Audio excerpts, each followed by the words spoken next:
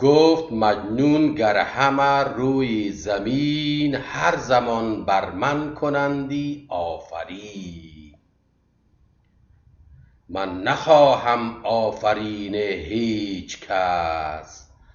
مدح من دشنام لیلی باد و بس.